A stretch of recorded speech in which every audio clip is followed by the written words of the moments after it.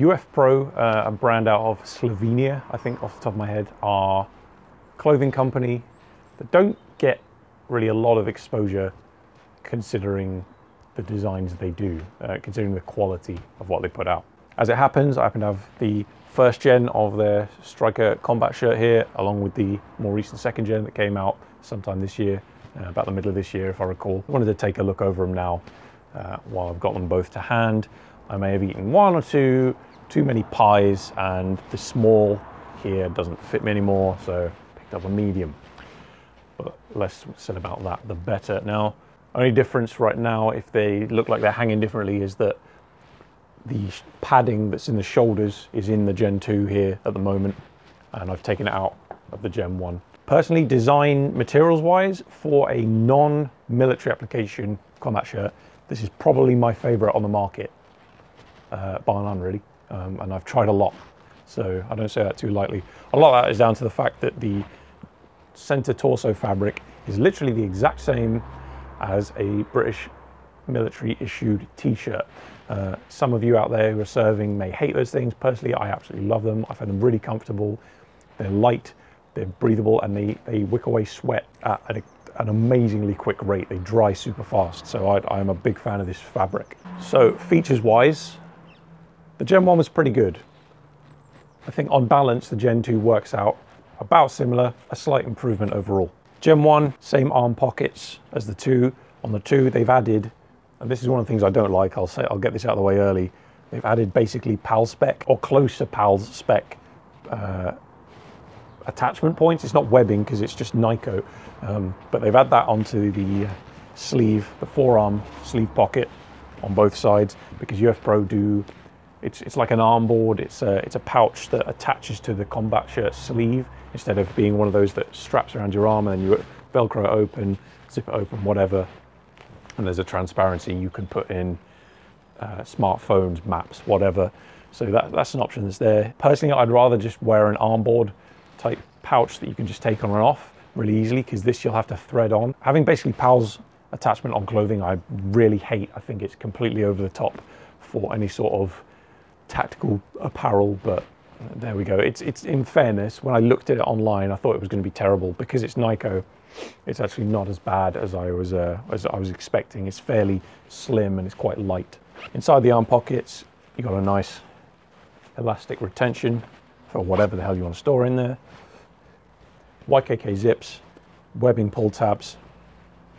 The loop they use on the UF Pro is a bit weird. It's not it's not like the stuff most companies use. It looks like a bit of an old carpet tile, but it works. You know, stuff attaches to it. What more do you want?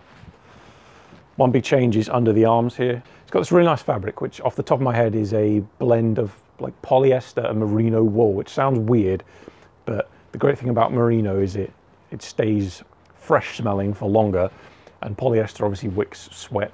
Wool is also good at dealing with moisture, etc. So they've got this there. Problem was with the Gen 1, it was notorious for pilling and ripping and just not being very abrasion resistant and holding up. So they've still got the same fabric under the arms on the Gen 2, but over the top of it, there's like something like a Velocity Systems Boss rugby shirt type fabric. So there's just a, a perforated 100% nylon mesh. So that's going to take the abrasive uh, elements of slings or plate carriers or whatever, or whatever the hell you're doing, but you've still got that really good sweat wicking antimicrobial fabric under the arms where you need it. Another thing I'm not a huge fan of is they've added these pull tabs uh, just above the zip on the upper arm pocket here on the Gen 2.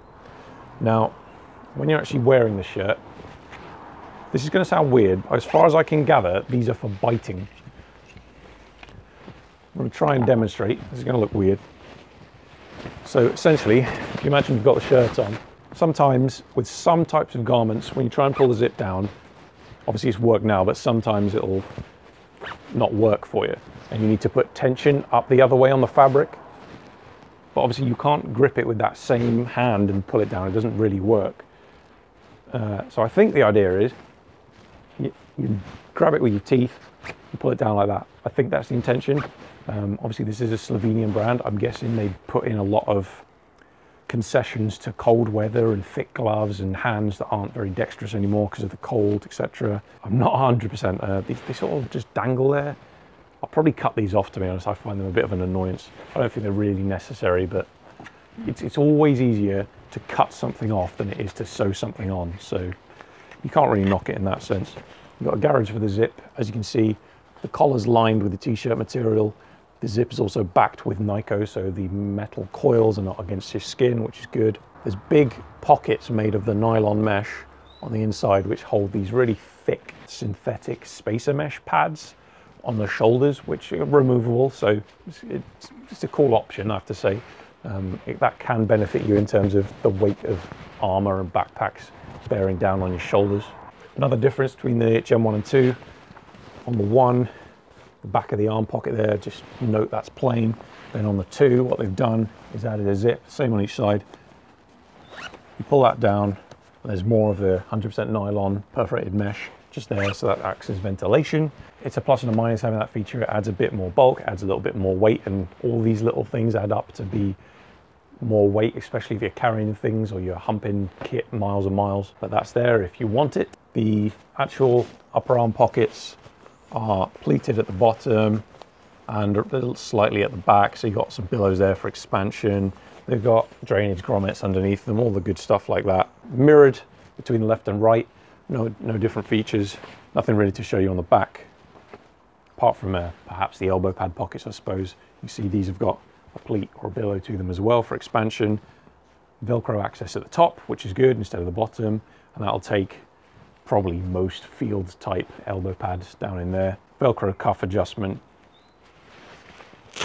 And you got a sort of a wide expansion piece sewn in there so that can really open up if you so desire to really get the airflow going. They come in quite a lot of different fabrics depending on which color you buy. So if you do look at one of these, scroll right to the bottom of the UF Pro page and check the color against what the fabrics are. For example, the, the five color Flecktarn, most of that fabric is, well, all of it that I know of is made for the German military in a, a sort of weird poly cotton blend that, that percentage wise no one else uses. So the Flecktarn versions of these will come in that fabric. Multicam and Pencott Green Zone, 50-50 NyCo, winner.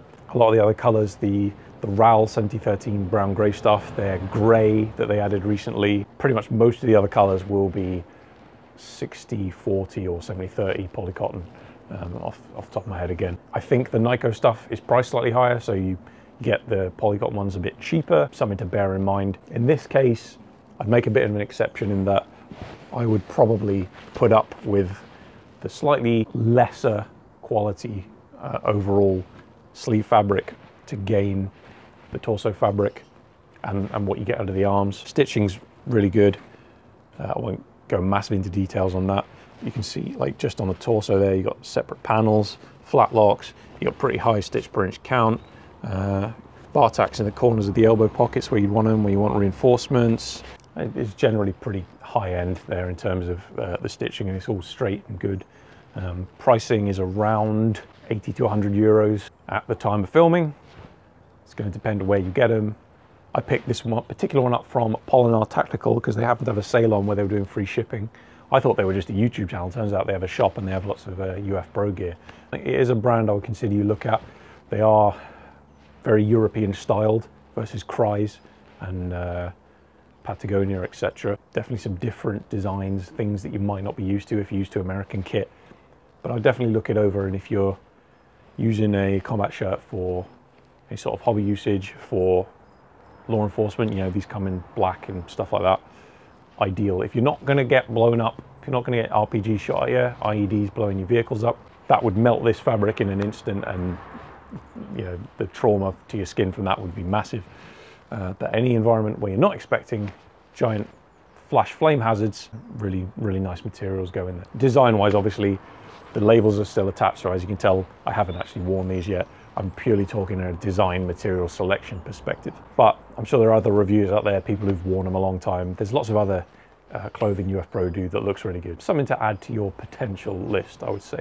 Appreciate you coming by the channel, everyone. Appreciate all those thumbs up and everyone who's subscribed over the years. Uh, I know some of you have been following a long time. Social media links are down in the description. Please do check those out. Drop a follow. That's also appreciated. Uh, thank you for watching the video today. I'll see you next time.